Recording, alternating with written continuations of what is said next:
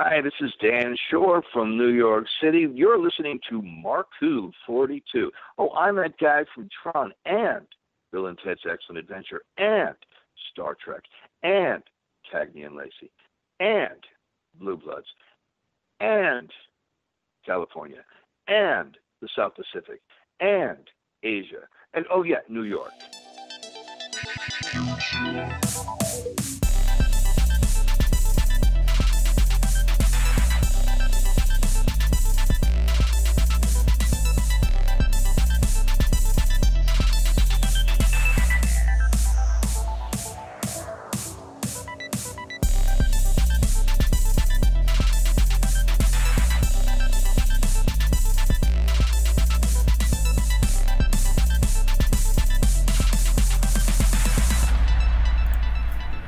Welcome to Mark Who 42's universe here on the Subspace Radio Network.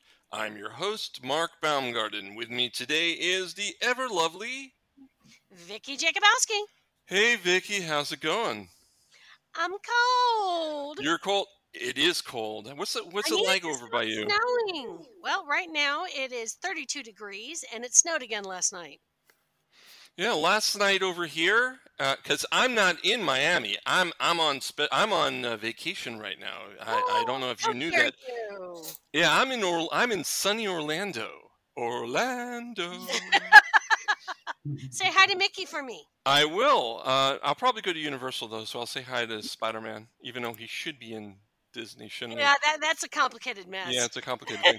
um, and the, you know the temperatures here are pretty cold too. Last night it was about two degrees centigrade, about 35, 37 degrees. That's not as cold as it is here. Yeah, That's just wrong. yeah. And of, oh, one last thing. Happy birthday. Almost. Almost. well, no, as we're recording, as this airs, it's your birthday. Oh my gosh, I know. I'm old. Okay, folks, we have a great show for you today. We've got our friends from the 77 Publications. Uh, they are doing a Kickstarter campaign for issue 9 of the 77. It's going to be great. And our guests today are Ben Cullis, uh, Benksy, uh, the editor in chief, Steve Bull, co founder of the 77, and artist Ian Stopforth. Hello, guys. Hey, hello. Hey, how you doing? So we've had Steve and Ben on before, right? Of course we have. Yeah, it was a lovely show. A few times. Yeah, but Ian, uh, you're new to our show. How are you doing? Um, I, yeah, I'm well, thank you. I'm new to this yet, so I don't quite know what to expect. So, yeah. Well, expe- uh, expect the unexpected, because to be honest, I never know what to expect on this show. Uh, so, you know, we were talking about the weather. Is it cold by you guys? yeah, it is cold, windy as well. Yeah, it's turning colder here as well. I think we've got some snow forecast over the next Mm. couple of days. Wow. Yeah.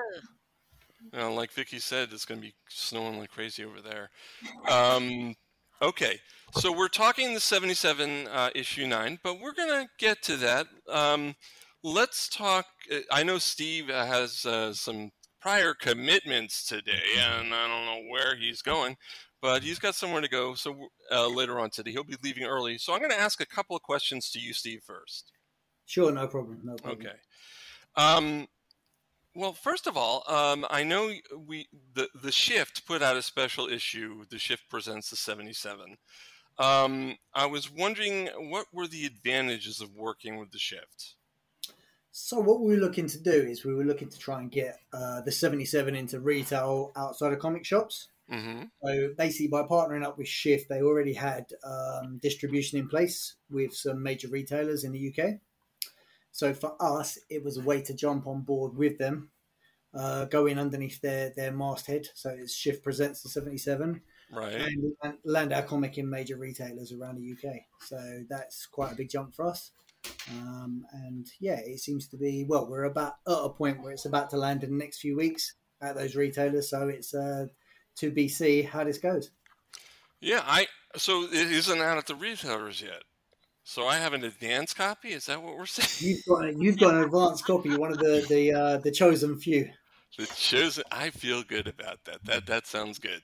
What's supposed to be on the right side of that list? There you go. So also, I mean, one of the big benefits for us is to uh, do like a long form of some of, obviously, as we're an anthology, hmm so to put out some, uh, it's basically reprint material of V, which is my strip, all right, um, the Division 77 and Martian Law strips. So in 64 pages, we can really uh, reprint a few of the episodes and get real taste for the strips for the uh, buy-in public. Well, I mean, the strips are great. I, I and and you know the V V is just a great uh, comic, and I want to talk about that. Thank you, Mark. Um, first of all, let our uh, we've talked about before, but if anyone new is listening, and I'm sure there are some, we always have new listeners every week. Um, tell everyone what V is about. Ah, it kind of shifts around a little bit. So, uh, in short, in modern Syria, in the I believe we're talking the sixties, they uncovered a, a city called Ugarit with some, and they uncovered a number of uh, clay tablets with uh, mythology, and there's a, a thing called the Baal cycle that was written on these tablets and deciphered later. And I've taken the characters from the Baal cycle, which would be uh, Baal himself, uh, his sister Anat, uh, the Lord El. There's a number of them that appear in other mythological uh, strands, but I've taken these guys and I've popped them into the future, into uh, to start with, into a gladiatorial combat game, and then it starts to peel off into horror, science fiction, fantasy. Yeah. No, I remember in the first issue the gladiatorial part, and I, I where it's gone from there, I was not expecting. It, it, it's it's gone. It, it is so good. Hopefully, that's a good thing. Yeah, nice. Yeah, no, it is. Uh, talk about the success of V. How how is it going? I mean, what, what are your what are people saying about V? No, it's really good. We've got a nice loyal following on it. Um, it really helps that uh, the the artist Ade Hughes is a very talented fella. Um, we missed, I think, we missed an episode in the last um, anthology of the '77, but we're back again in issue nine. Uh huh. Um, it's just been very well received. Uh, I think people are buying into it a little bit. As I say, the art is fantastic on it. Hopefully, my writing uh, does enough for it as well. And just looking forward to the point we'll be concluding in about four episodes from now. So just looking looking forward to conclusion of book one because there's some exciting stuff in store. Yeah, yeah. Like without giving away too much, what what can we look in store for in issue nine? Uh, in issue nine, we are so currently the the uh, the crew that are working through the story are in an underworld in modern, well, in future Ugarit, Mm-hmm. and they're about to find their way out past the uh, the Lord of the Underground, El, and get back into the modern um, the modern world. So yeah, that's where we are. It's more of an escape story this uh, this episode. And you know, people who missed uh, it in the '77 have an opportunity, like we said, in the shift. Yeah, so they can get a nice big long taster of the strip ready for hopefully we'll be able to produce a shift presents number two and that will conclude the story and wrap it in there so you'll be able to uh, buy two magazines and read the whole of the story that's the intention Excellent, Vicky. Well, V is is definitely been one that's caught my attention from the very first um, clip. thank you vicky I, I, I'm not even sure what to, to call it. Um, the very first one that I I looked at is like I, I love the artistry, I love the story, and it just and I love the way that it takes twists and turns. I like to be surprised. Too often, you read something, you know what's going to happen next. You know, if, if you've done enough reading or done enough, whether it's been books, comic books, movies, you kind of know what's going to happen next, even when you, you don't want to spoil it for yourself. And I love it when something happens that I don't expect. So I really appreciate that as a reader. And then it just, I don't know, just the characters are very powerful and I feel that that makes it that mm, that much better.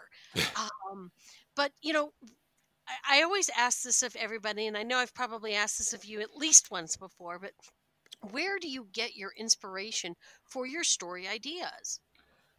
do you know what it's i kind of i kind of be very i'm very selective about modern books that i read And so I dip in quite a lot to uh, the comics that I, I grew up with and the way they told their stories and the way they would dip into the past and real events to actually help with the characterization. Then what I like to do is just it's a little bit of pop culture really so as i'm telling the story i'll be dipping into films and references and things that you're just to give some easter eggs in there as well to make it a little bit interesting and then it's a question of not being held back by a particular genre. So with v i really didn't want to be held into you know it's it's a fantasy or it's a sci-fi. There was no reason why we couldn't just move between the genres um, and tell the story and it all loops in nicely together. So hopefully I'm achieving that, and we'll uh, we'll we'll see the proof in the pudding when we get to the end. I'm both excited to get to the end because I, I want to get to the conclusion, but then I'm a little sad to hear that we're going to get to the end. Yeah, it's Because terrible it's that kind it's of like, to over. no. Do you know what? I can I can throw a little curveball at you here because uh, one of the things I like as well is uh, sending stories in different directions. So what we've got and building building kind of a bigger world with it. So what Mhm. we've got is you'll see um, we we peeled away from the artist uh, Ade Hughes when we produced that annual, and Ian, who's on the call now, did a lovely job painting a real old fashioned version, some back in the day when Ugarit was uh, Mm. around.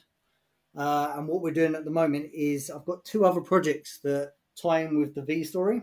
Okay. So in the next annual, there's going to be uh, a one-off story with Andrew Sawyers, who's done a lot of artwork with us.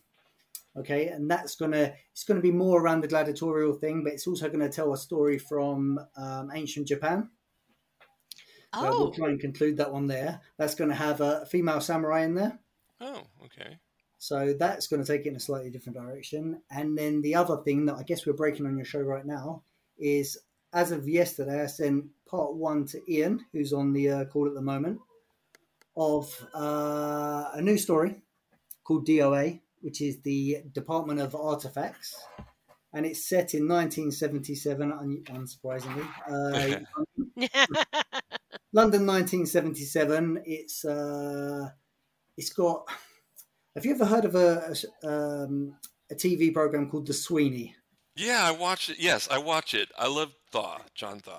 Okay, so I'm going, I'm going to be dipping into a little bit of The Sweeney in there. There's a policeman as a central character, um, but we're also going to see a character from V, who we haven't seen yet in V, appear in that story as well, um, become a focal point. So that's going to be very interesting. And I'm not sure if Ian's had a chance to read the script yet, but that that's coming soon. So we won't be without V. We'll just be uh, we'll be just moving in a different direction before we get book two. Steve, I read the script and I love it. So yeah, I'm I was going to ask you that, Ian. Yeah. Yeah, I, I love it. Yeah, yeah. I, I read it a couple of times this morning. Once just to get the gist of it, to see how, how I feel about the story, uh, and then I'm starting to think about it in more formal terms, in terms of how I'm going to sort of illustrate that color palette um, and that type of thing, and mixed media. But yeah, it's, it's a great script, Steve. I love it. Wonderful. That's good to hear, isn't it? There we I'm go, live board. on your show, right there. Yeah, a Mark Nice. 42 exclusive. Love them. Love having those.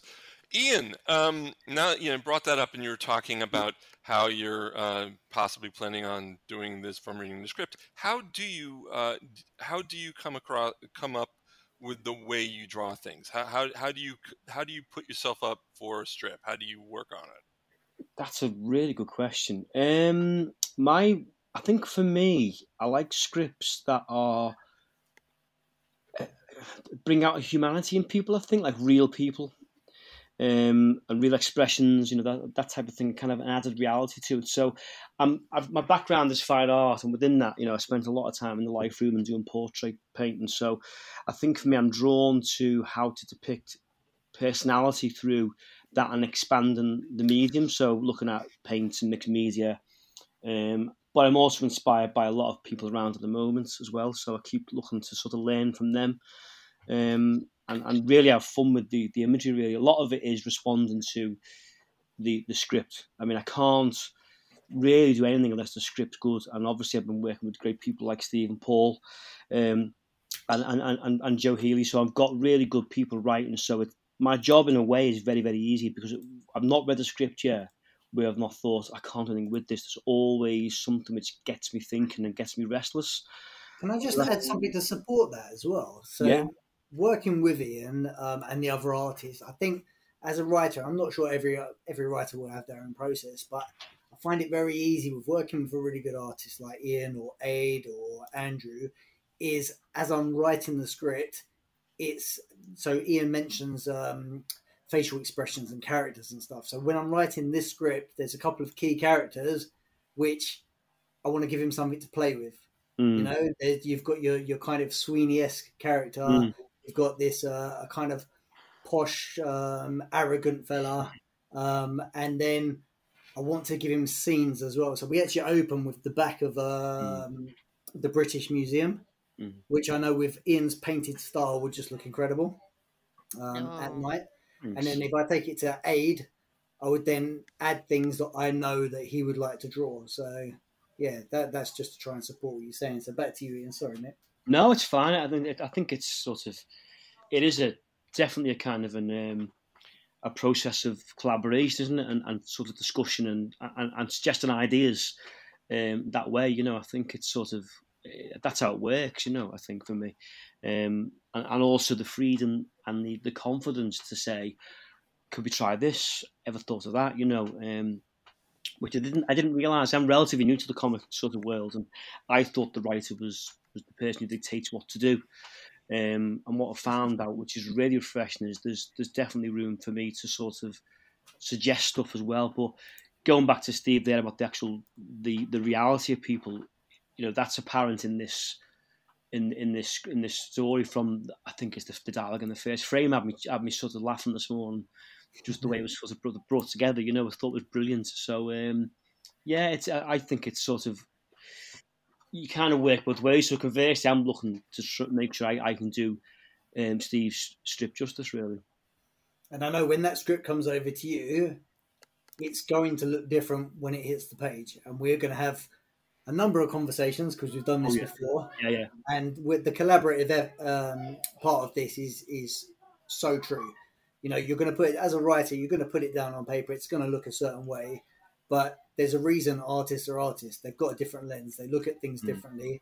Mm. And if you was going to ignore that and just get them to just churn out exactly what you've detailed line by line, I think you're going to lose something. Okay. Um, you know, I, I, was I'm sitting here and listening, and I'm I'm just I, am really interested in it. But you know, I realized it was something I should have started the show with. the Why I Love Comics Bowl. oh, you guys won.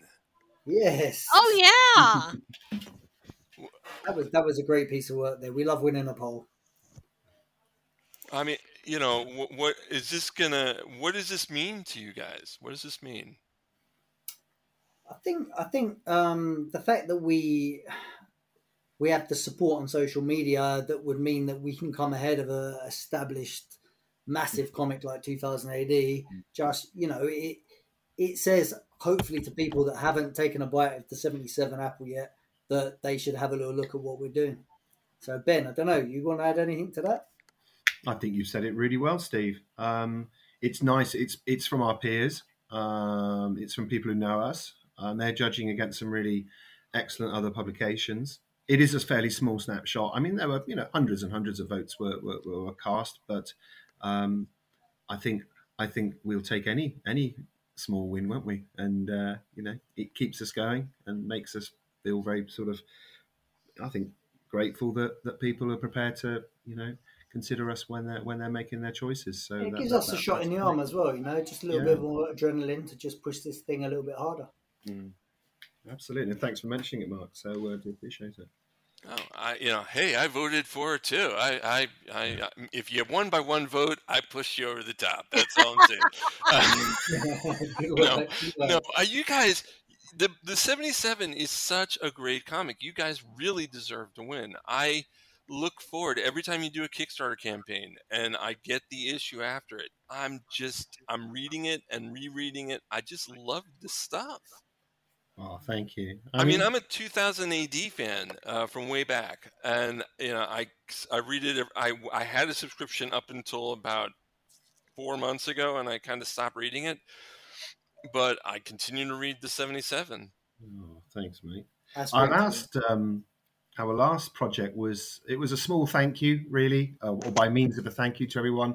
Instead of sending everyone Christmas cards, we got together um, with Brendan, um, our, our editor, and I checked with all of the, the the creators that we could use existing material that we held within our you know files and stuff, and we did the uh, the seventy seven calendar.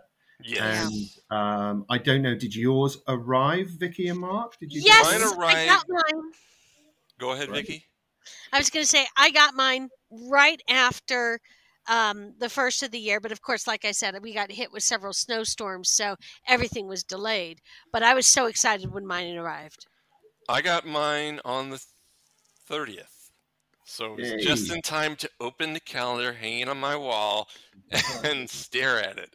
Uh, I Oh, love I'm it. afraid to hang it on my wall. It's so pretty. Well, I have two copies, so I can hang one up and keep the other locked away. And obviously that had a that's that's got a use by date. It's not quite the same as a comic. Um, No, um, no, it's not. It does, is it? But no, the it's a very artwork is live issue. forever. Oh yeah. Yeah. Well, we hope people will keep them because we put a lot of information in about artists and ask them to write sort of you know um, background details about the, the, the strips they were working on. So, for example, Ian, who's Yeah. with us today Ian Stopforth, um, I, I, I, I chatted with him and, and, and got a lowdown really on more information about what him and um, Mark uh, Paul Goodenough uh, were, were doing with with with Extinction um, 2040, which is actually it's coming to a conclusion um, in the next issue of the 77, the, the number nine, which you said is on Kickstarter, and obviously that Kickstarter. Steve, is it run to the 5th of February? Is that right, mate? I believe so. Yes. Yeah. Yeah, I think I have it. Uh, the date written here. Hold on, let me. I had it. I think it is the fifth at. I think eight thirty your time, GMT. Sure.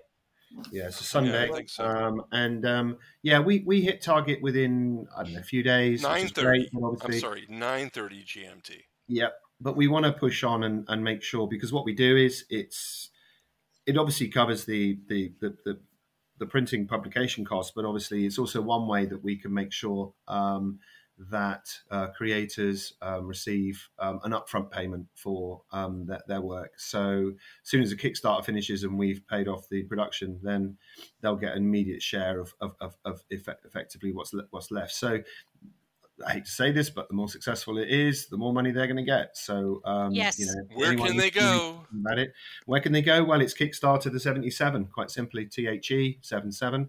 Um, also, if it's okay, can I just very quickly um, run through a couple of things? So, we're doing another.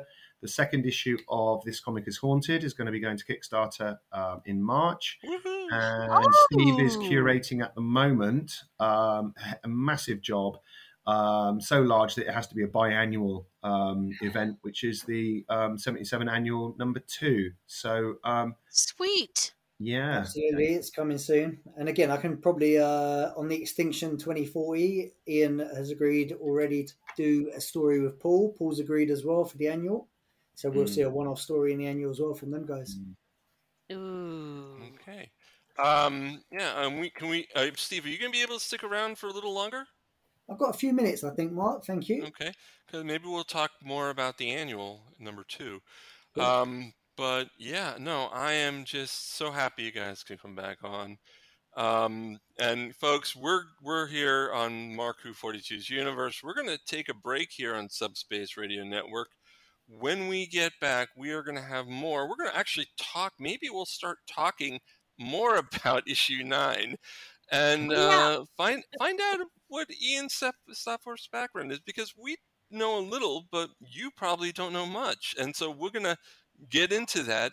Uh, this is Mark Who 42 with Ben Cullis, Steve Bull, and Ian Stopforth here on Subspace Radio Network. We'll be right back. If you love comics, you'll love the titles from the 77 Publications Limited. The 77 comic, voted the best UK indie comic of 2020. They have something for everyone from Blazer, Pandora, and This Comic is Haunted. If you want scintillating sci fi, thoughtful fantasy, and creepy horror, you should check out the best of British and international creators. They're also a comics community, so pop over to the 77 Comic group on Facebook and see more of their titles over at the77comic.net. Don't go away. Don't go away. We'll be back with more Mark Who 42 after this.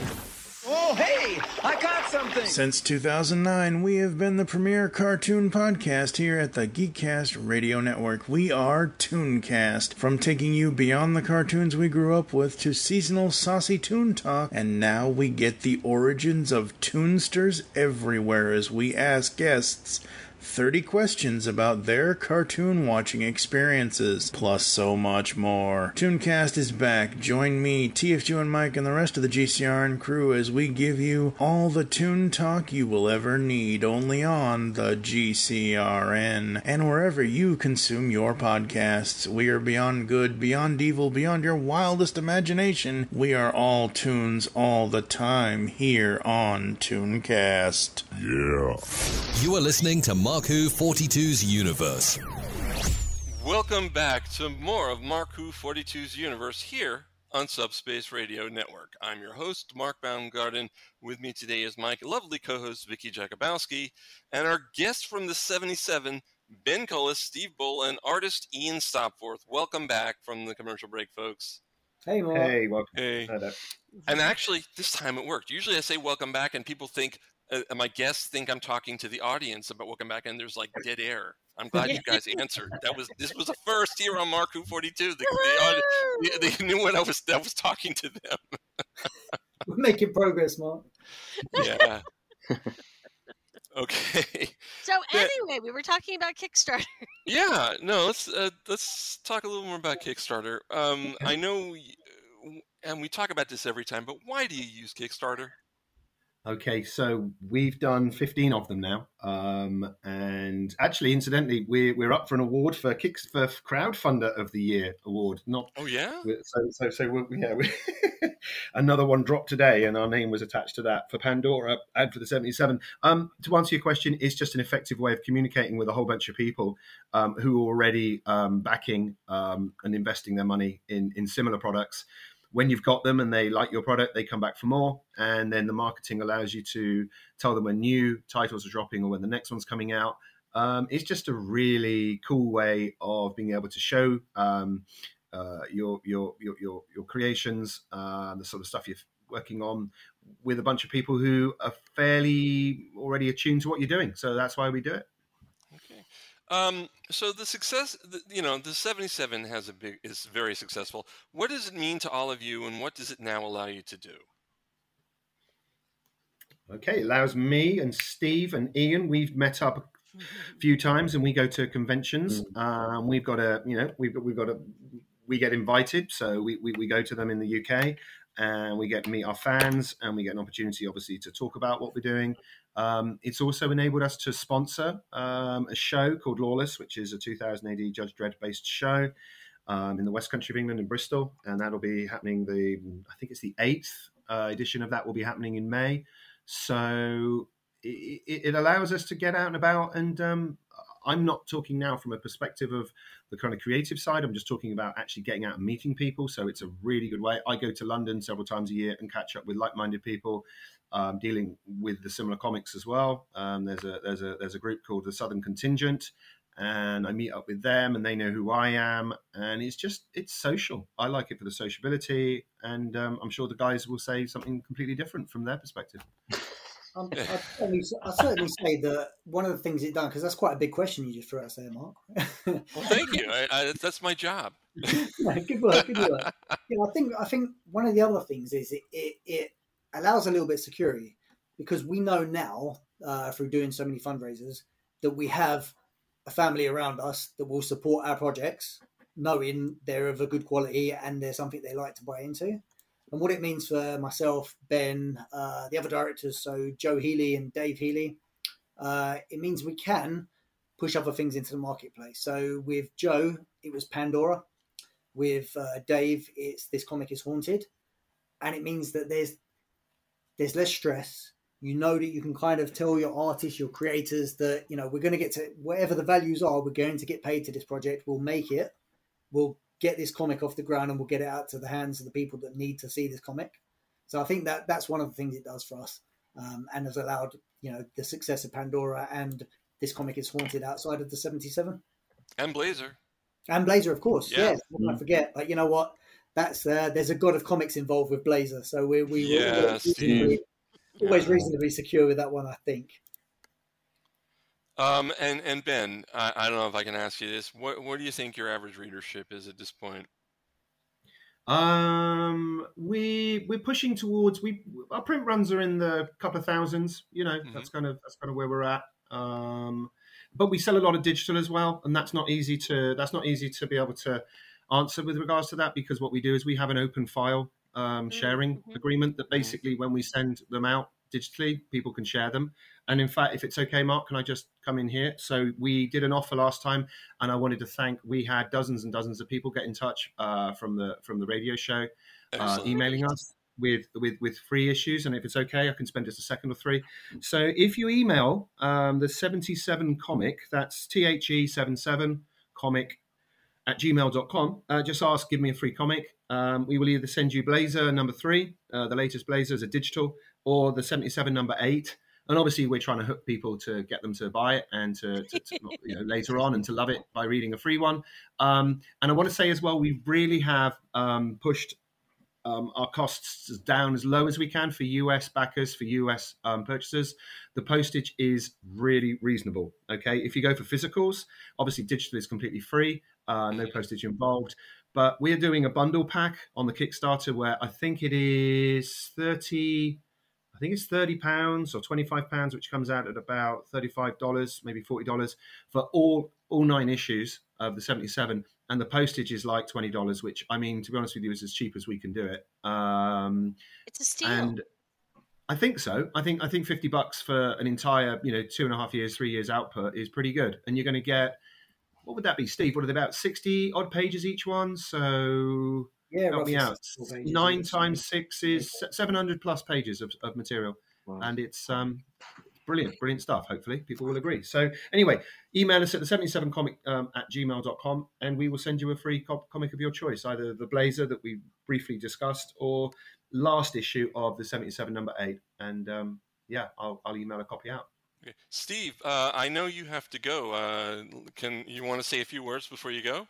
Yeah, I just want to thank you for having us on the uh, the pod again, both of you guys. Love to chat to you guys. Um, I wish I could have stayed for the whole length of it, and hopefully next time I can. Just want to thank all of our supporters out there. Like it really means a lot to us uh, to have your support because we couldn't do this without you. Thank you, Steve. I'm, I'm, I appreciate you coming on the show. Cheers, Bye. Steve.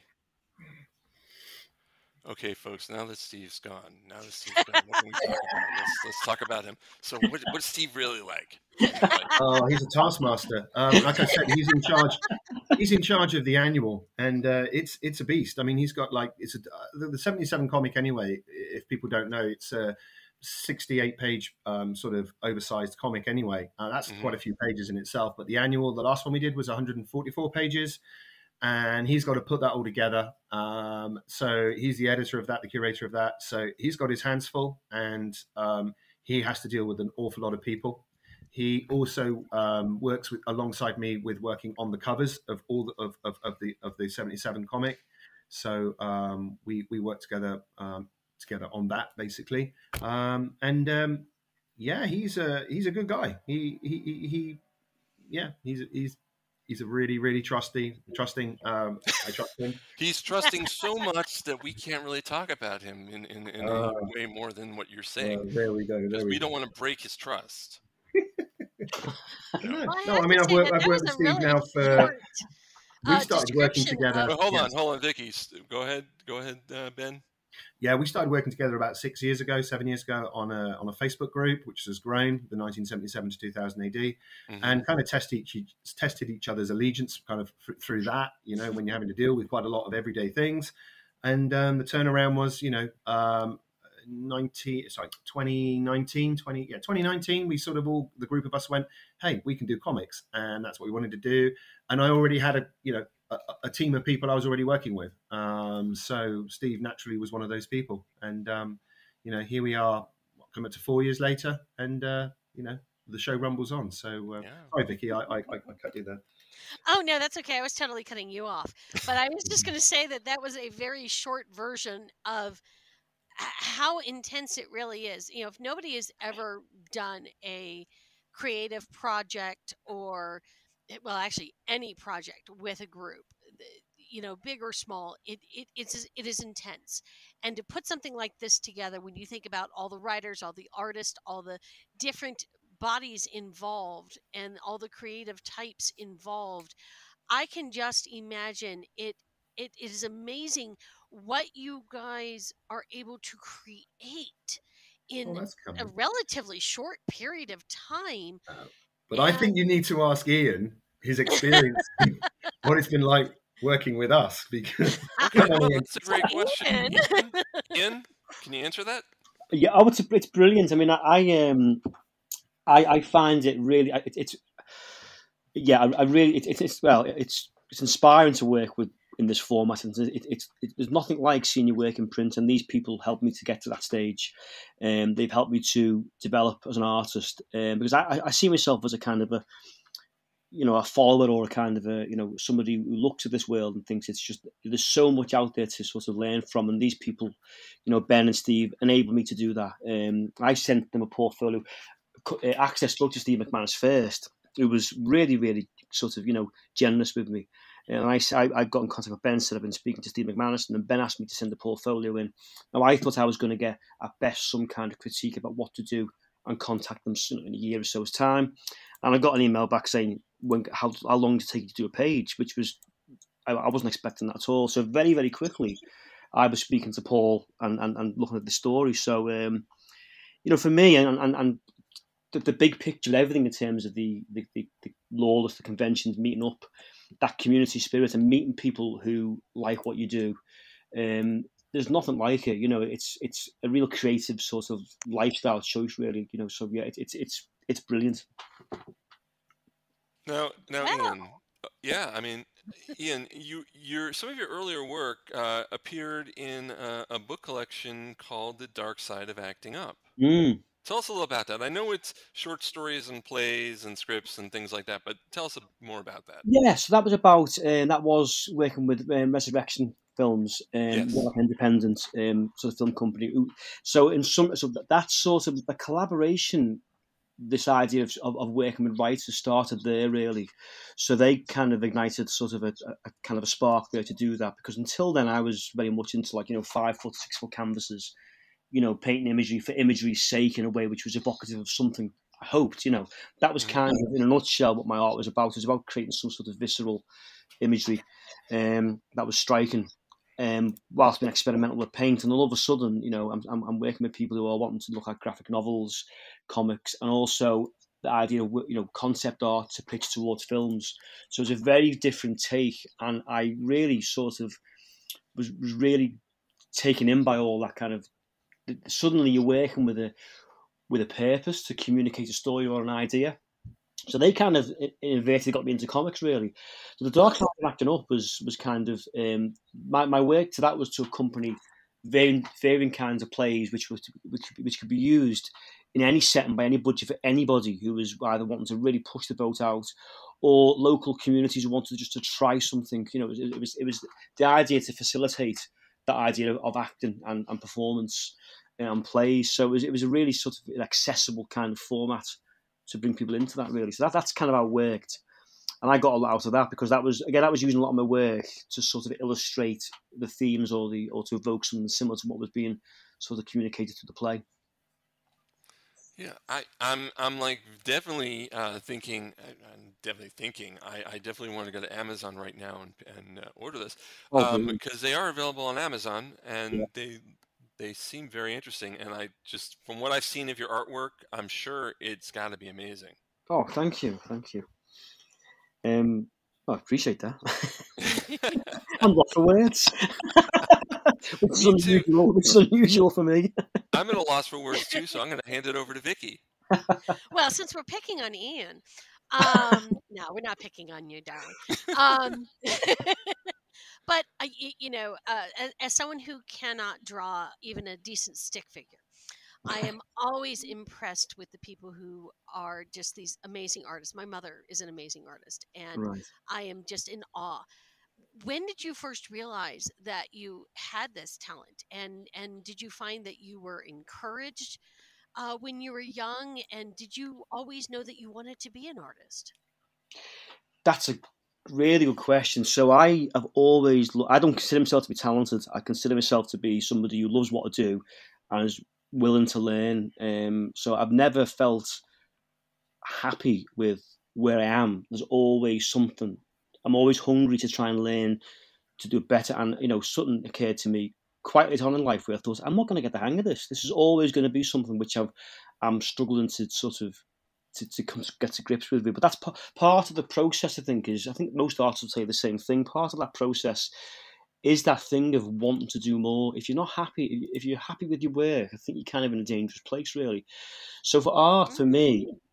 You know, it took me. I, I can remember being in school and not being particularly academic, and, and finding drawing as a means of escape, really. Um, so it's that thing of tapping into drawing the things you love. So as a kid, in me, it was obviously things like Star Wars or or yeah. superheroes, anything like that, where I was able to sort of try and do depictions of things that really sort of caught my imagination. That was really kind of what got me into art early on. And so that was basically when I was about four years of age, really, you know, being finding school early on quite a struggle in a way in terms of well, not finding it very interesting, if I'm honest with you, early on, you know, the way, the way I was taught. And then suddenly, you know, finding that kind of, there's, I mean, I used to love it when we used to be able to draw.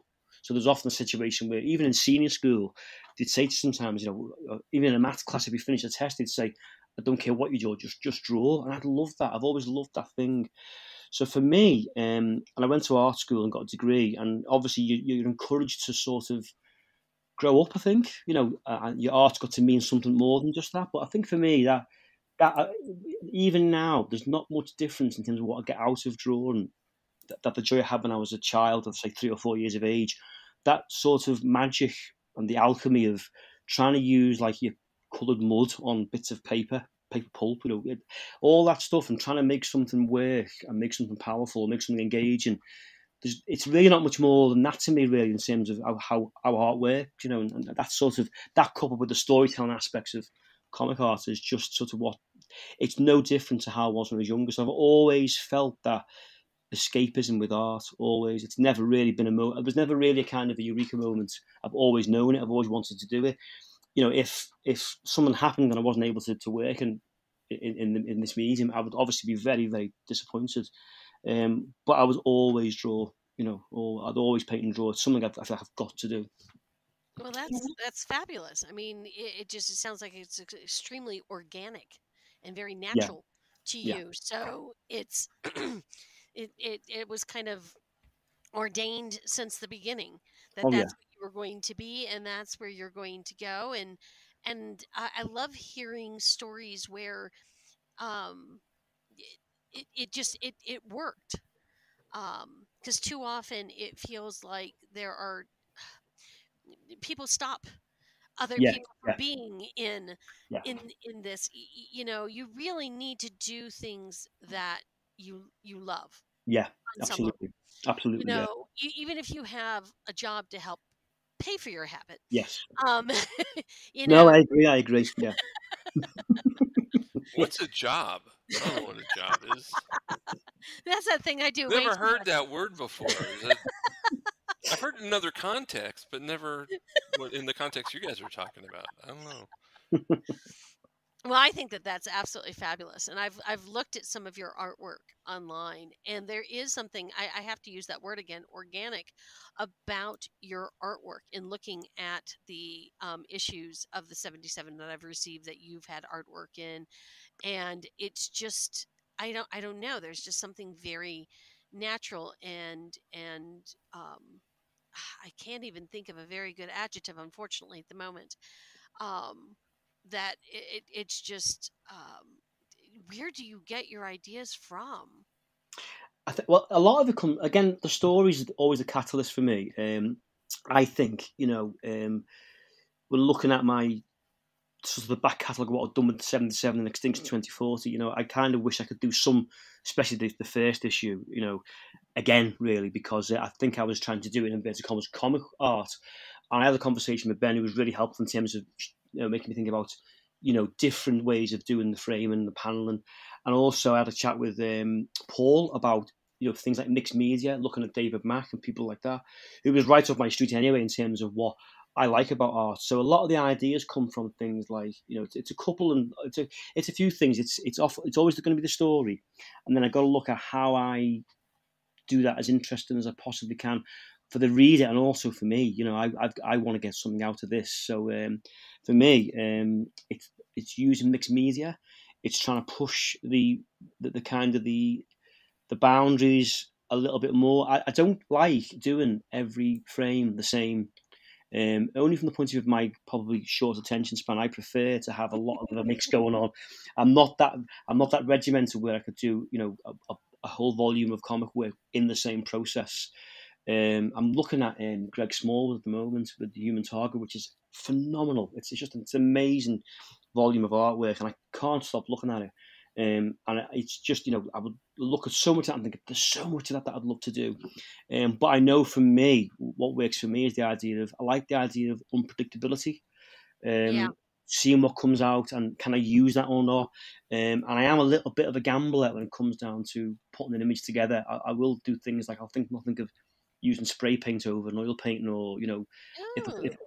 if I thought it would work, if I thought it would work, I'd set a piece of work alight. You know, there's there's, there's real there's no there's no kind of you know I don't want there to be any boundaries in terms of what is acceptable for me to do. So I think there's that thing of pushing things. I mean, I'm making my work sound really chaotic. It's, it's I don't think it is at all, but that's what I want from my work is the aspirations to take things further that way. Well, I think that that that, that chaos is a good word because your work has motion to it and you know motion is chaos and mm with if, if you don't if you're not doing something to push the boundaries if you're not doing something to keep it moving then it won't feel like it's in motion and i yeah. think that's one of the things that is most fascinating about your artwork is that there is movement. It's not static. I don't feel like i'm looking at necessarily it's not necessarily three dimensional but it's moving.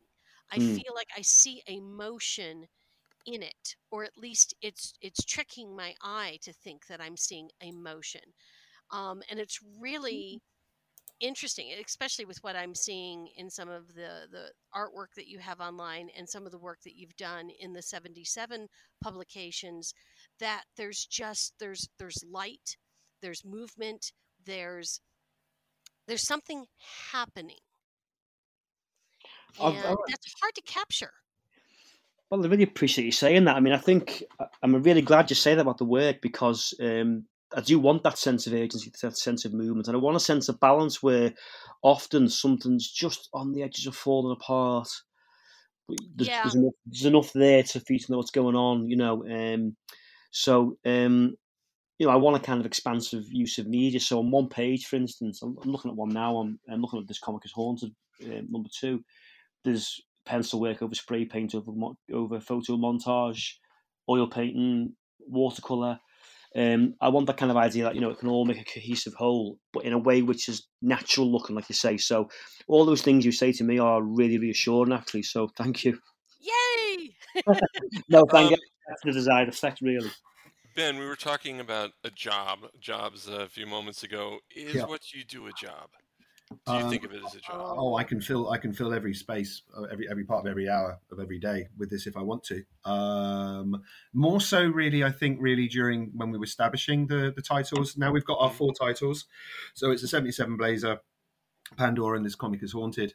Um, now that we've got those and we've pretty much set up the kind of um, framework for each of them, and we've got our schedule, and I'm now working with the sixty creators who input to all of those. So that's a lot of people, but I've already made the contacts now, and you know we we, we know the routine. It's it never runs itself, but the job's easier and it's not quite so time consuming. Um, I mean, obviously our schedule is not monthly. Um, on, on, on these things, it'd be great. Right. We, we, we kind of we we kind of wondered whether we would do that um, but that was really during uh, lockdown, really, and we we we were able to create two titles during lockdown um, and get them out, which was kind of astonishing in itself. But we're happy where we are, and we're working with people who are, you know, either full time professional artists or writers, and they're affording some time to us to do the, the, the work for us, or we're working with people like Ian. He's got a job, you know, um, and he's fitting this in around his free time, and I have to respect that. So can't go pushing too hard to say, hey, we want you know 12, 12 pages a month or something. You know, it's not it's just not going to happen. So. Uh, you know, I've got to be respectful of that, but I love doing it, and um, you know, it's um, yeah, it's fitting. It's, it's it's sort of falling into place, really. Yeah, I mean, love of what you do is important, isn't it? Do you know? Um, that's that's the thing. We're we're only Mm. here for a short time, my friend, and um, Yeah. you got to do what you like doing. So Mm. uh, you know that's why we've all got our interests, isn't it? And um, I feel so blessed to be able to say to people, you know, what, what they ask what I do, I publish, um, and then they ask what, and I say, you know, dozens of stories every year from from incredibly talented people. Work with amazing people, get to meet them, get to talk about this work with other people, um, and yeah, it's it's. I'm kind of late into the game with that respects, um, but you know, I'm here now and have been for a while, and um, I'm not intending to, to to to sort of you know turn my back on it at all at any time soon. Um, and I think I can, cons- I can literally envisage myself, Mark, doing this until I can't do it anymore. Wow. honestly. So uh, it's it's it's kind of it's kind of cool like that. And um, you know, I'm going to get opportunities coming up. I'm going to be coming over to uh, the states. I'm not sure if it's going to be. I don't think it's going to be this year, but um, I am communicating with um, various um, people about coming over, and um, I will have the ability and the, the time to do that. Certainly, probably from next autumn onwards, um, this autumn onwards. So we'll come over to Florida and we'll catch up with you. Oh yeah. We're going to come over. Yeah, well, we got well, we've got a little bit of a, a, a road trip. I want to go up to um, the space center as well. Um, That's gonna. You're gonna have a good time there. That's always good to visit. it's very. it's a big thing in my cool. life. I'm uh, I've been a huge fan all my life of of ma- of, of, of humankind's endeavor to, to to to reach out and and and, and you know strive for the next thing. And I think I think that if you want if you take that seriously, I think you you you got to come out and, and and see these things. I've got friends who I went to school with who work over at um, JPL um, over in Mm, California. yeah. I've got to catch up with them. Um, you know, Altadena and stuff. And um, yeah, uh, travel is travel is going to be something. I'm sure everyone feels like this though. We've been COVID has been extraordinary for everyone, and just to start planning now, you know, we were starting. I mean, I, I'm I'm I'm returning on a holiday that I went to last year in two weeks. When I was there last year, we had to have tests everywhere, masks everywhere, restrictions everywhere. You know, it's not that long ago, and things are still only really just opening up, and more shows are opening up for comic conventions, and you know, coming back onto the um, coming back onto the the calendar. So yeah, I'm going to be getting out there and doing a lot more, and that's what I freed myself up this year to do. So Excellent. we've got the titles going, and now I'm going to go out there and represent it. So I think Ian and I are discussing a couple of shows this year um, already. We we we met up. I think is it three shows this year, Ian, or last We year? did, yeah. Lawless, Lawless as well, by the way. Lakes International, and Thought Bubble. Yeah. Mm, yeah, yeah. Well, we can talk more about conventions and stuff. I, I hate to say it, but on Subspace Radio Network, that's the end of our show. Um, but I'd like you two to stick around because we're going to go into extra innings on our podcast, the Mark Who 42's Universe podcast. Would you like to stick around for that? I can do that. Thank you. I can, yeah. All right. So for everyone listening on Subspace, this is Mark Baumgarten with Vicky Jakubowski and Ben Cullis and Ian Stopforth of uh, The 77. Uh, we're talking about their Kickstarter campaign. Go to Kickstarter, uh, look for, search for The 77, and please uh, fund their comic, issue 9 of The 77. We will be back. Please stick around. Don't go away. Don't go away. We'll be back with more Mark Who 42 after this. The Pullbag is GCRN's comic book review and discussion based podcast. Join me, TFG and Mike, and the rest of the GCRN crew as we discuss the comics we are reading right now. Inside the Pullbag, you'll also find the origins of how guests got into or out of reading comics, after dark discussions, and so much more. You can find the Pullbag every Wednesday, which is New Comic Book Day only on geekcastradio.com and on anywhere you consume your podcasts. Make your great escape into comics and jump into the pull bag today.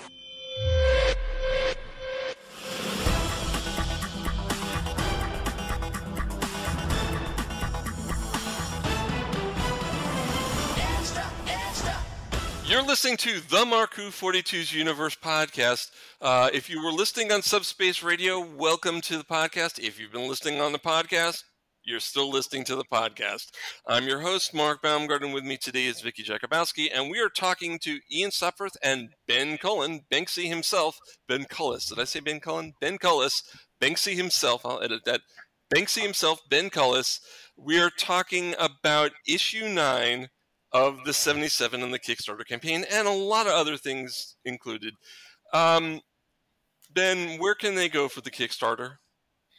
Well, I mean, it's uh, it's a short title for, for searching. There's a search bar on Kickstarter. So the 77 T H E 77, and uh, it's handily there. It's up until the 5th of February, finishing at 9:30 GMT. So um, yeah, three more weeks. Three more weeks today, finishing almost in exactly three weeks' time. What kind of perks can people get if they do this? Because I know Okay, so we have well, we have we have a high value perk on the show right now. Um, I I can say that Ian Stopforth, an amazing artist, um, has one commission spot left in. I don't know if you knew that, but Oh, you've got right. one left. Um, Okay. You maybe might in a minute want to discuss the kind of commissions you've taken on board for other people. I think I Yeah. I can certainly. I, I have first-hand experience. I, I, I took one up myself. I had a family portrait of my two kids, um, um, painted by Ian. It was fabulous working from a photograph in its pride of place. Um, both of them have seen the picture and are just like, wow, Oh, amazing. Um, artwork generally is available. So I think all the pages have gone now. I think there might be one page of Ian's left, but I'd have to check. Mhm. We've got sketch cards, the ACOs, um, which are collectibles, um, two and a half inch, three and a half inch um, cards. Um, they come in for like, I think it's about eight bucks on top of the price of a comic, uh, no extra postage. And I said before as well, if you've not heard, um, we really focus on making sure that, um, and we are growing more um, backers or getting more backers from the US. Um, we really make sure that we keep the postage cost down as low as possible. So if you're new to it, you can get the bundle of all nine um, copies.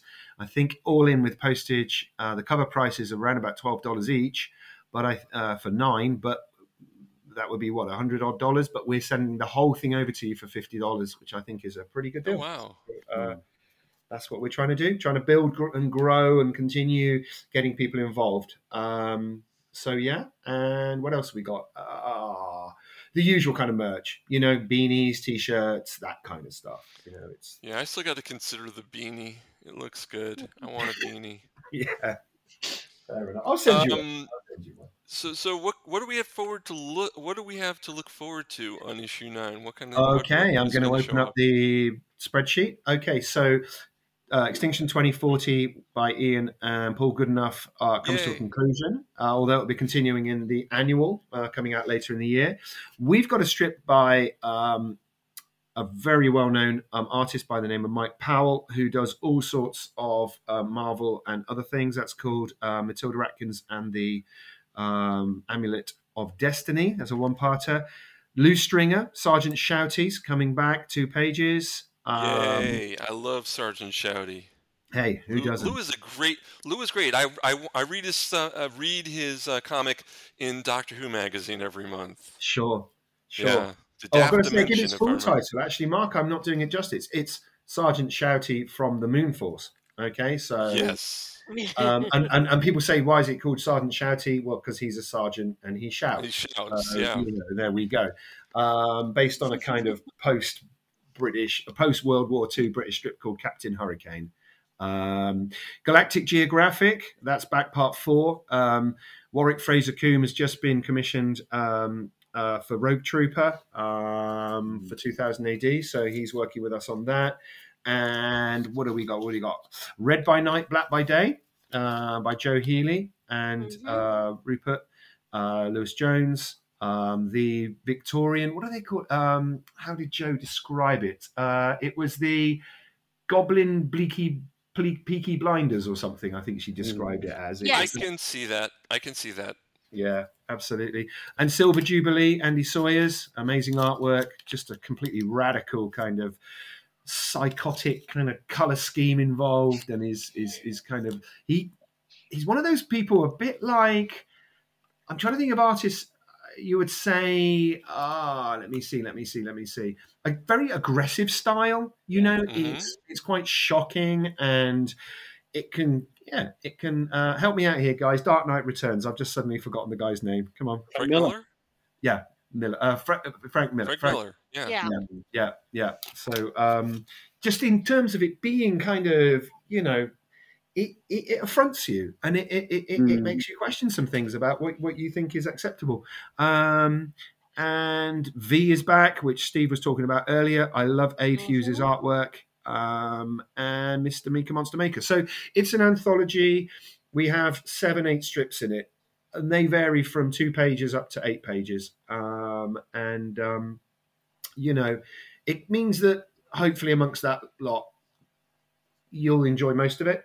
Maybe there'll be one or two which you might kind of go, hey, you know, read it. It doesn't necessarily work for me, but I think most people appreciate that the caliber of the artwork is and the, and the writing is is, is is good throughout. It's just a, it's just the British anth- anthology genre where, you know, it has it dabbles with a bit of everything. Um, What we're going to be doing um, from next year, by the way, is we are going to be collecting these, and we will be um, putting them in um, collected editions. Oh, so um, they will be coming out. So yeah, there'll be a seventy-page plus uh, V. Um, I'm in negotiation with, with with with with Ian and Paul about doing that with Extinction and, and other strips as well. It's also, by the way, we are actually published in the states at the moment. We we we know about Shift, which is British and European, but there's another press, uh, Antarctic Press, um, Ben Dunn's Antarctic Press. Oh, and- Planet Comics. yeah, Planet, and we're we Yeah. we're Planet came out two weeks ago, number twelve, and and and, and we Division seventy seven is being bundled in that. So if it's easier for people just to buy that, that's fine. That's cool with us, you know. Um, but we don't have necessarily like uh, paid distrib- distribution rights on this. It has to sell an awful lot of copies for us to make anything, but it's one of those things that you know you kind of sign up to because you want a bit of um, exposure, really, to get out and to to, to be able to discuss with people. Um, but anyway, yeah, we're very excited about bundling the collections together. And now that we've been working on the 77 for three years, we've got some strips which are about ready now to be put into you know longer format stuff. So they'll be there'll be fresh there'll be fresh work with it, you know, um, and additional um, features in these in these collected, and they'll be more like graphic novels. So I'm saying definitely, I think Division 77 V Extinction should and we're thinking Galactic Geographic. I'm discussing with the guys there that will be bundled together, um, and that's always been the principle behind what we're doing. Is we're getting the annu- we're getting the anthology out, but we want to bundle it up and we want to be able to sell it at a you know cheaper reproduction rate, really, and uh, ship it out wherever people want it. So um, stay tuned. We'll we'll, That's we'll, great we'll keep idea. you updated. And thanks for asking. Yeah. Ian, Mhm. we were just mentioning uh, the commissioned artwork. Yeah. You're gonna you have one left on the thing. Yeah. Which, for all I know, will be sold out. But guys, if it isn't, you should get it. Um, and the reason I say this is I saw on the on the page your picture of Tom Baker. Oh yeah. artwork. That was really sweet. I love that. Oh, thank you very much. Thank you. Um, it was actually quite easy because he's so iconic. Yeah. Um, I mean, I did, I did that in about three hours. That one actually it was. It was. I, I, I set. I always set myself a long time to do some work, and I always start off really. Actually, I start off with a drawing which is really, really, really tentative and tight. Um, and it's not until I get to resolving the face that I start to, but that type of commission start to loosen up and, and really sort of you know go for it. Um, but yeah, that was a lot. That was a lot of fun. Well, they, they're all they're all whatever anyone asks me to do. I've never not enjoyed um, the request for commissions. Um, I think it's quite nice to be challenged as well. So you know, one of the things I like about our the comic art and these commissions is you can't say, "Oh, I don't do that. That's not my thing." You know, you've got to find a way to do it. Right. Um, you know, And, and if they pick this perk, they would just send you a photograph. Um, it depends on what they want, really. If it was a portrait, I'd, I'm going to need some visual information. Right. Um, if it's something like, you know, I mean, but the, the, the Tom Baker one was actually Mm-hmm. the request to do two other characters and to surprise the actual person who asked for it. Um, so I, I went with Tom Baker because of the fact that I just, you know, he's my, he's my Doctor Who in terms of the, you know the generational thing. Yeah. And, and Yeah. I just thought, well, that seems like a, a really that seems like a lot of fun, you know. So um, yeah, sometimes you'll get you'll get asked to do different things. So I've had I've had I've had things about you know for characters, so Rogue Trooper or Slane or Judge Anderson. You know, I get those character characters to sort of get requests for them, and that's pretty much within my grasp to do whatever I want to do with it. Really, I don't I don't normally get many people saying anything too specific, you know. So that's that. They're always good fun. They're always very good fun. Both of you, I wanted to ask this question. What were the what what was the first convention you ever went to? Not to participate in, but the first one you ever went to as a punter. Okay, I went to um, a UKCAC, the uh, UK Comic Conventions, 88. That's the first one I went to. So, uh, yeah, I was 21 and I was studying to be, uh, I was doing an animation film course. And um, it was in my hometown of Bristol. Um, and therein lies an interesting tale. I then had a 20 year hiatus. I didn't go to another one for 20 years. Wow.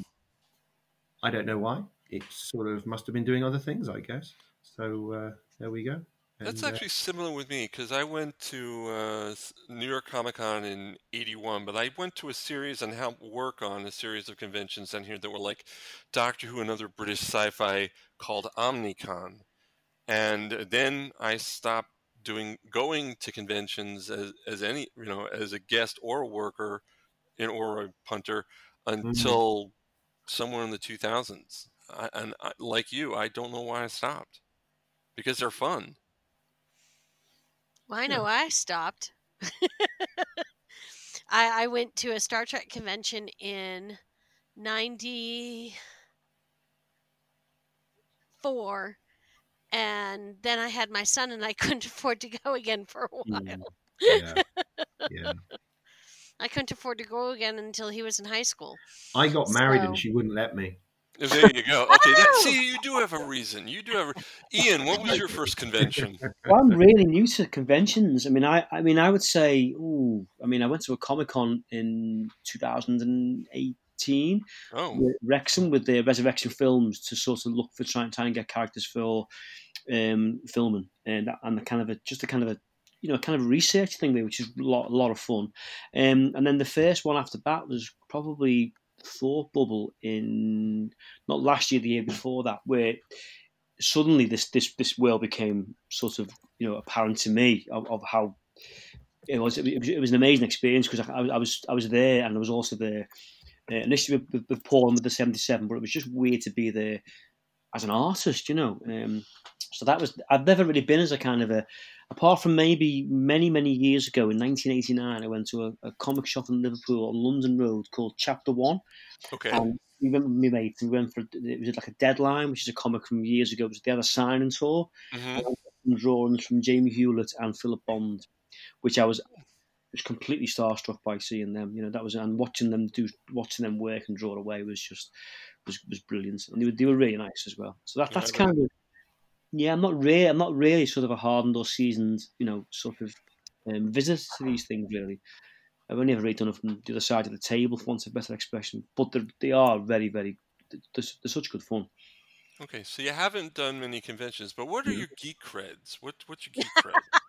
What's that? I like asking this question Oh. because everyone knows my geek cred. What's your you geek cred? that's Okay, um, I think you I, know I know you like already. Tom Baker. I know you like Doctor Who Tom with Tom Baker, which Well, I, is on well, my. I- yeah, yeah. it's I'm where going I to give am. you my geek cred. Ian's Okay. going to have a think about it.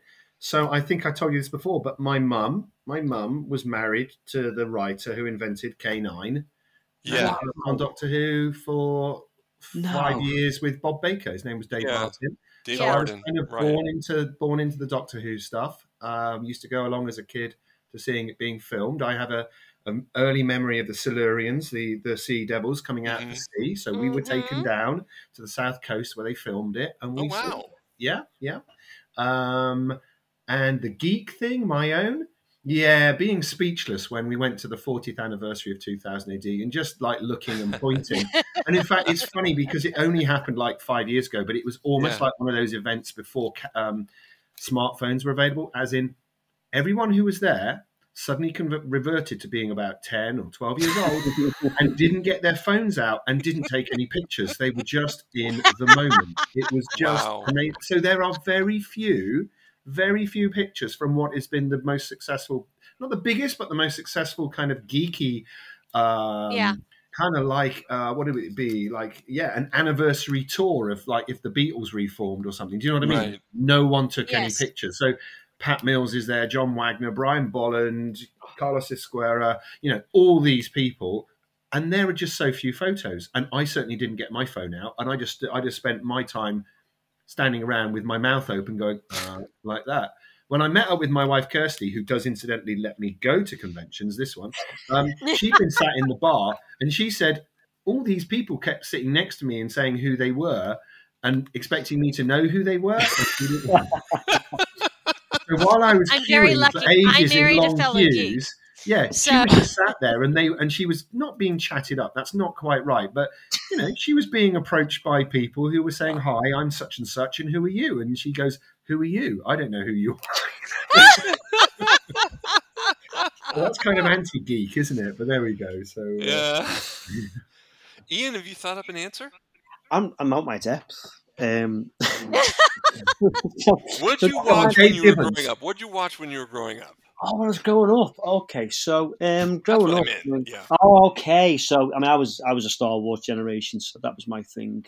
Mhm. The original trilogy. That, that was sort of what I really, really kind of latched onto as a kid, you know. Um, so I was, I had kind of every single figure, you know, and almost Oh, every, yeah? film Oh, every spaceship. sweet. Yeah, So you gave George Lucas a lot of money. I gave George Lucas a hell of a lot of money. I was so disappointed when he brought those prequels out. can oh I? my God! Can I yeah, I embarrass, agree. Can I embarrass I Ian agree. at this point? Like totally embarrass him. Okay. So he was our guest at Lawless uh, last year, and I I kind of had a quick word with this artist and said, "Would it be okay?" And then Steve, who was on earlier on the show, um, literally did he not? Did he kind of manhandle you over to Brian Bolland? Oh, that was amazing. Yeah. Oh, you know what? I, I thought of this. This was in my mind. Yeah, but yeah, yeah.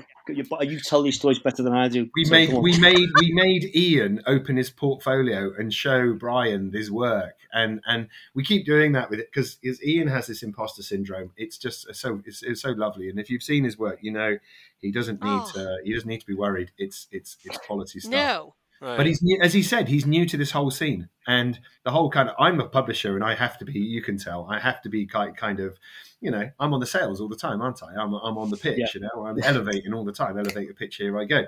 So I kind of do these things. I just you know inhale and go and do it. Whereas poor old Ian, you know, we have to literally carry him. We have to pick him up and carry him over, and he's kind of like a bit uncertain. Uh, so we and we spent all of the time at Thought Bubble trying to get him to open his folder and to show buyers and backers and fans of various bits and pieces of his work. And um, it's a joy. It's a joy to work with such talented people. Um, but he's not. And, and we had. Do you remember, um, Ian? We at, at, at LICAF, which was at the. Um, we were at the the lakes in the Lake District of, Oh, yeah. of, of the UK. Beautiful backdrop where we were. Looked out the Mm. window, and it was just this huge lake and mountains and beautiful.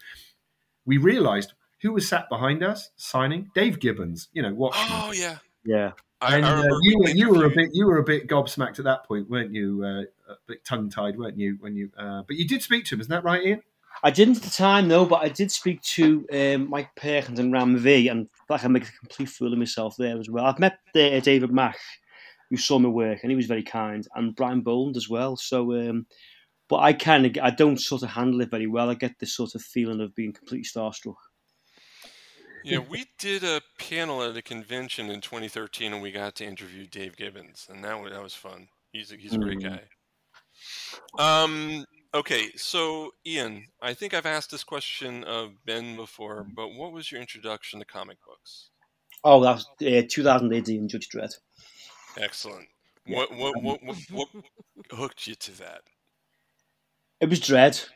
Uh, Yeah, no, okay, that's yeah, it was a dumb question. I shouldn't have asked Yeah. that question. Yes, It it was was- Dredd. You know what it was? It, it was. It was. It was. It was the imagery. I mean, those. I've been interested in art, and obviously been drawn. You know, as I say, since like I was about four years of age. And Mhm. when I was about, I just finished juniors, so I was about ten. So this about nine in the summer of 1985.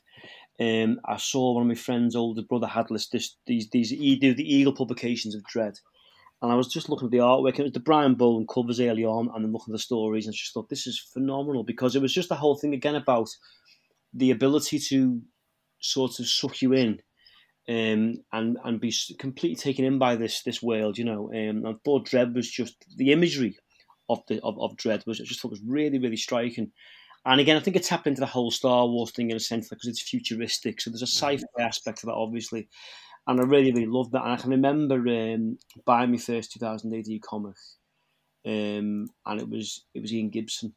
Um, and I remember thinking, I spent the whole summer trying to draw this head, this Dredd face that Ian Gibson drawn, you know, um, which was really I just I loved Ian Gibson's you know his, his line and, and, his depiction of Dredd, and I can remember I've got a, a, an Ian Gibson Dredd sketch now, and it's just you know when you see that arrive in the post, you're thinking, wow, you know this is this is bizarre that I've got this, and I've actually communicated with him, and he's a really nice fella, you know. So for me, that was, that got me into comics was Dredd, and then from there, I started getting into uh, Stray Toasters by Bill Sienkiewicz was the next big thing for me, which completely blew my mind because suddenly you got this guy who's using all this other stuff, you know, um, and I, it was a bit like, um, like the first time I did Tom Waits, for instance, it was like I wasn't too sure what was going on, but I knew I had to have more of it.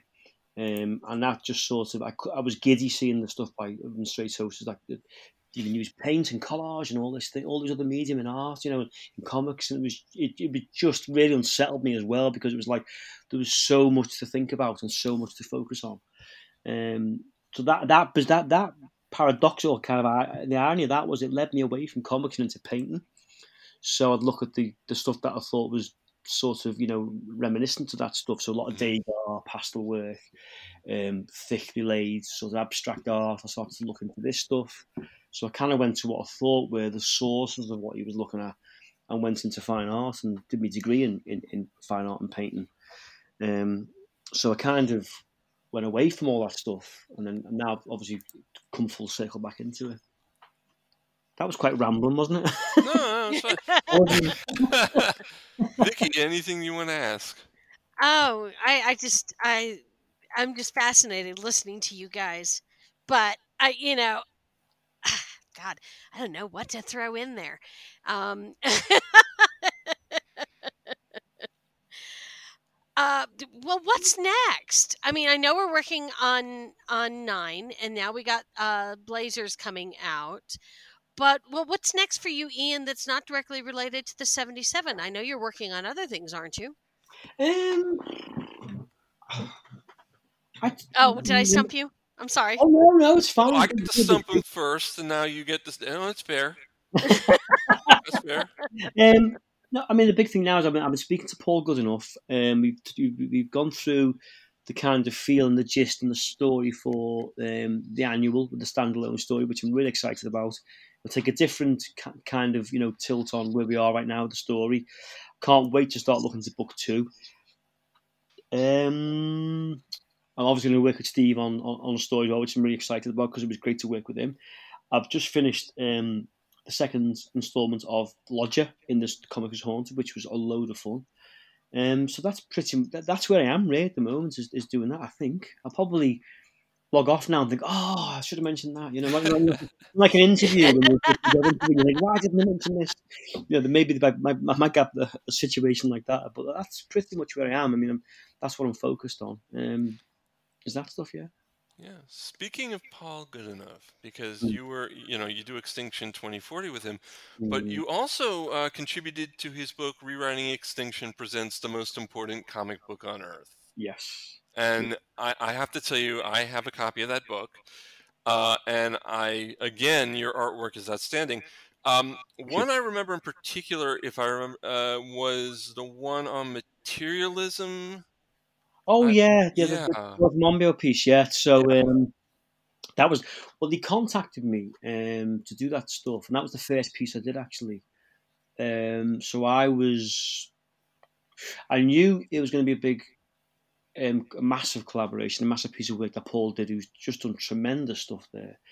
So to be part of that in my tiny way, I mean, I think I did, I did about three pieces for that. That you know that that that was a that was a highlight for me was to be involved with that and to be, be in a book with people like David Mack and um, all the all the names of people I really admire. You know, it was quite strange to be slotted into those pages. Um, it's still a thrill to see work in print, and you know you can still see that book on pages. You know, on, on, shelves in Waterstones in in, in, you know in, in bookshops, you know, which is just amazing to see that stuff. Um, it was a real, it was a lot of fun. I mean, the, the, we had to do the work quite quickly. That was one thing I can remember. So there was there was three pieces I did. There was one with um, Dacre Montgomery about the Australian forest fires, and there's one for Paula Castaño who does work in the Galapagos. They had to be done quite fast. So um, he, he kind of said, "Look, could you do me a favour, this this piece, could you get this? Could you look at this for me?" And obviously, because you know what it was for, there was no way I was ever going to say no. There was a lot of long shifts to get get them done on time. But again, I mean, we were working quickly, so that, the, for instance, the um, I was sent, I was sending drafts out to to Paul, he was sending them on to people like George Monbiot's. People get back and say he likes that, you can go with this, and the same with Dacre Montgomery.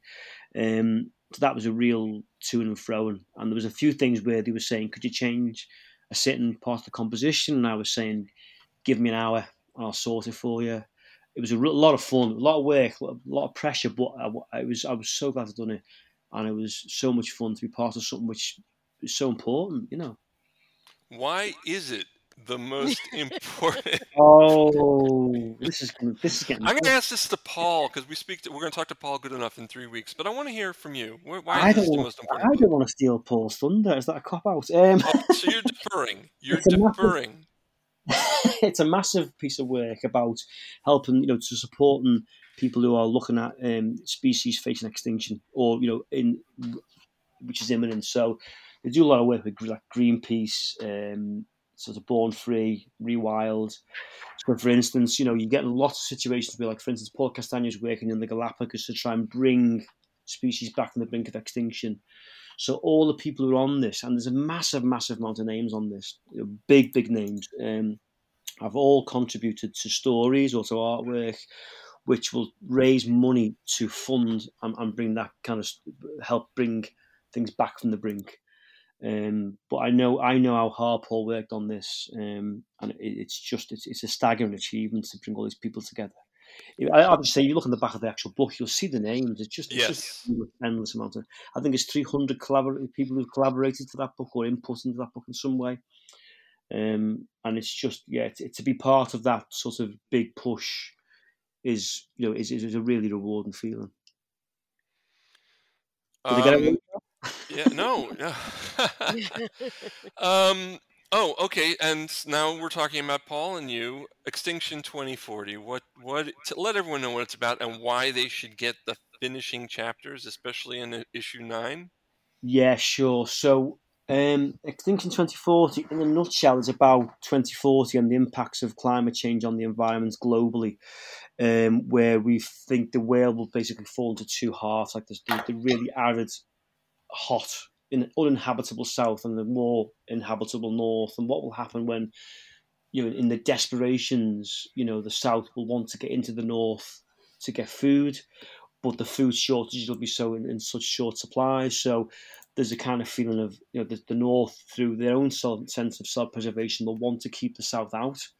Um, and within that, you've got these young kids who are conscripts, you know, um, kind of the, the, the less desire, less less the, the the seen as the less desirable kind of kids will be sent to these places to sort of enforce the the, the border patrols of these of, of the world basically. So you've got like you know three kids who are thrown together, um, with like a kind of a probation type of officer who oversees their safety who gets killed very early on, and they find themselves in quite a desperate situation.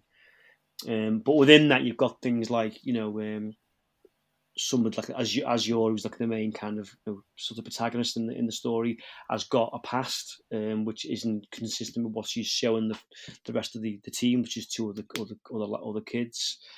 Um, and it's a it, it's basically about them trying to get back to safety and what happens during that time, and the, the kind of the dilemmas they face.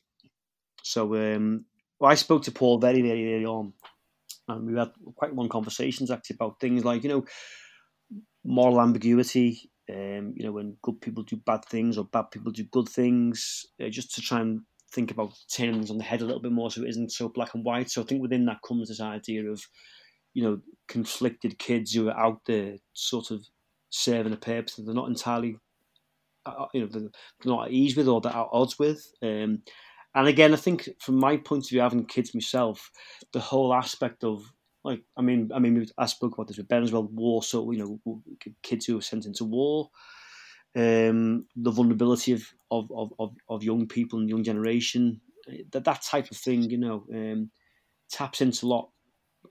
To me, as a father with two kids, you know, two young boys, you know, what I don't want them to go through, um, what I would rather go through for them, you know, all those it taps into a lot of stuff like that for me. So in the the last issue, there's a lot of child soldiers in that, which you know, I said to Paul, I'd really kind of like to want to explore more of that in terms of the image that gives me and the, the kind of the what it evokes, you know.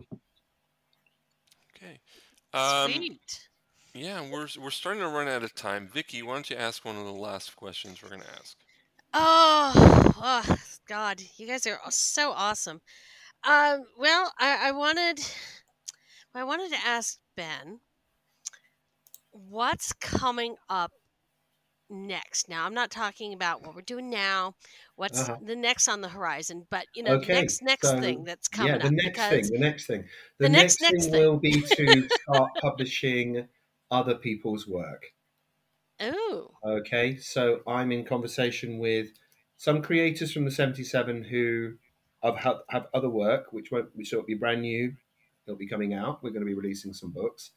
Um, I think I can now say this because um, we're pretty much on agreement that I'm going to be uh, working with um, pub- as a co-publisher of John Wagner's next publication. So, Oh, wow. oh wow, Okay, so that's kind of exciting. Um, I'm going to be having more discussions with John during the spring, but you'll be hearing more about that soon. Um, and I'm kind of, as I said, um, I want to be kind of getting out there more uh, as the public face of Mhm. representing um, the 77 publications. Um, so I'll be traveling a lot more, doing more shows. Um, and that's because I have more free time now. So, um, yeah, I'm um, I'm kind of I'm not doing um, other other work. I'm I'm, I'm I'm solely working on this, um, and I'm going to see what happens there. So more publications, um, sorry, more publishing, should I say, and um, yeah, just just keep on keeping on, really. So um, and and coming That- over that's stateside and seeing you guys, so it would be great. So um, you know. And thank you very I- much for your support. We really do appreciate it. Absolutely. You guys, you guys actually put your bucks uh, where, where you know, Yeah, no, yeah. hand over No, bucks. we love. we actually like you guys. And I'm not going to say anything more you than that about that, Vicky, but thank you very much. I've just looked somewhere and I've seen what you've just done. So thank you very much. Well, yeah, you she- know, she's I- doing I- things behind. I'm working the board right now, so I can't. doing do- things she's behind a- your back, Mark. Yeah, that's okay. She's allowed. That's No, her she is, and thank you very much. So um, I, I like to put um I, I'm my husband and I are are big supporters Yeah. of all the things that we love. Um my front room of my house Yeah. is nothing but we call it our Comic Con room, but we get artwork Okay. and and things from places other So than just we won't we won't mention too much, but basically it's very There's no more commissioned artwork left. Is that It I'm might, saying? it might it might be that the artist who's on this show might be hearing from one of the presenters on this show. That, That Oh. just might be. So, just so, might the, be. so the commissioned artwork may not be available anymore. Is that what we're saying?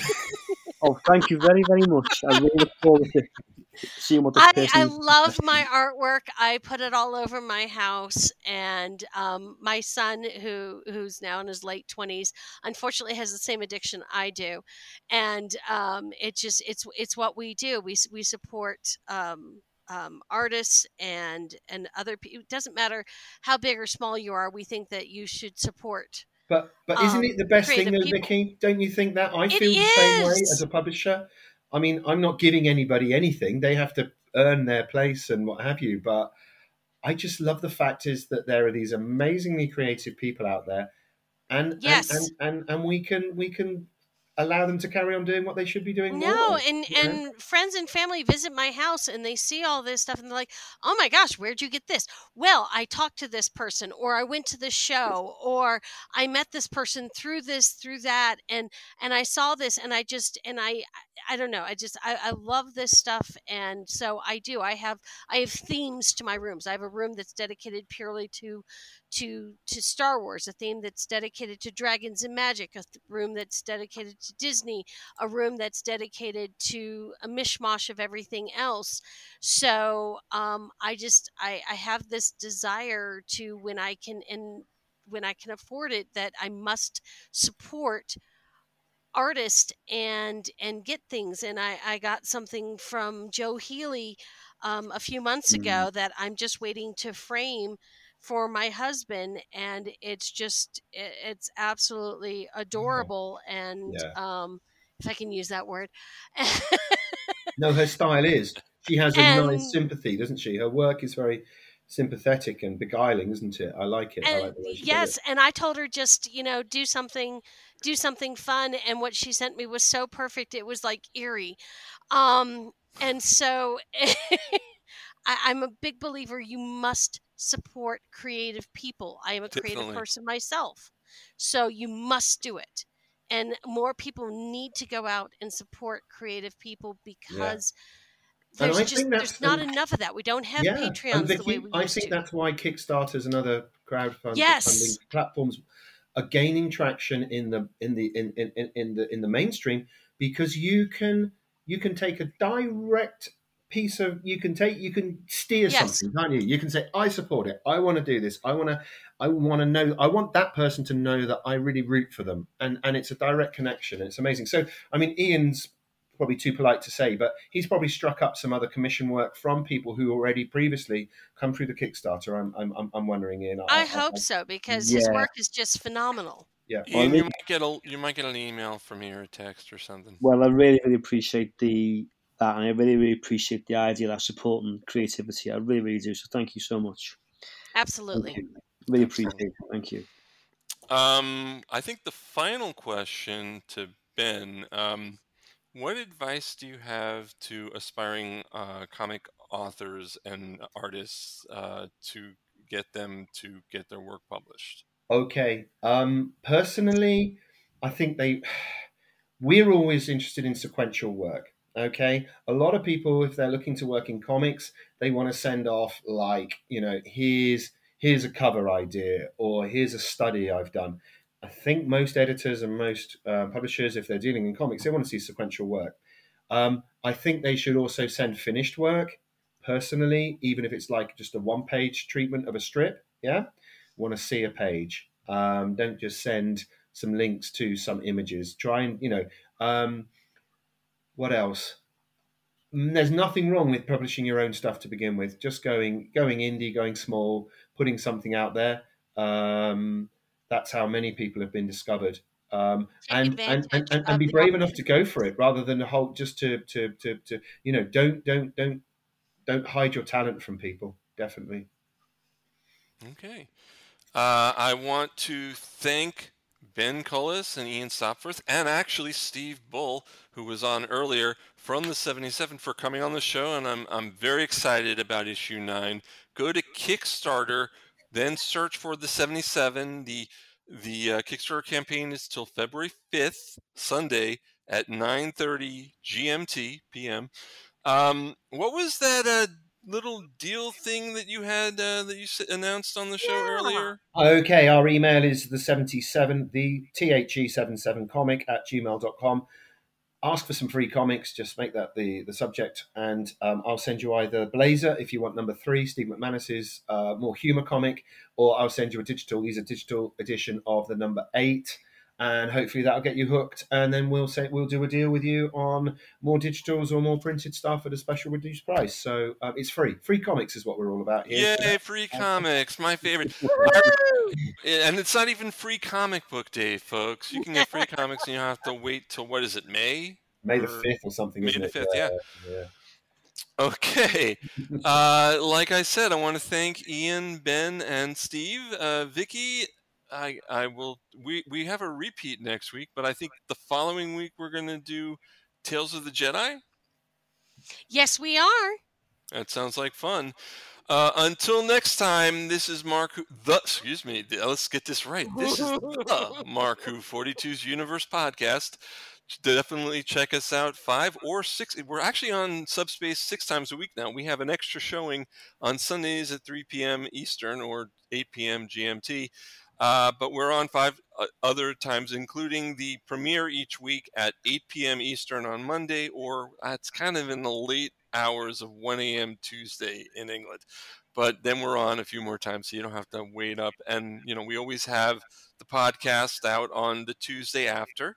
If you want to hear old shows with our celebrity interviews, go to our YouTube channel, Mark Who 42's Universe.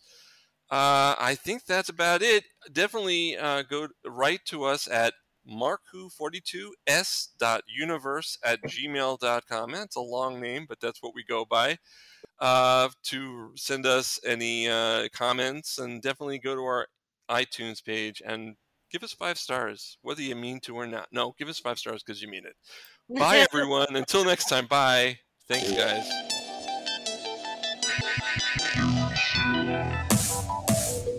Thanks for listening to Mark Who 42's Universe featuring Mark Baumgarten, Eduardo M. Fryer, Vicky Jakubowski, and Zion Kuros. This show was produced and directed by Mark Baumgarten. If you'd like to get in touch with us, go to our Facebook page or email us at markwho42s.universe at gmail.com. Our radio show airs weekly on Subspace Radio Network at www.subspace.radio and on iHeartRadio.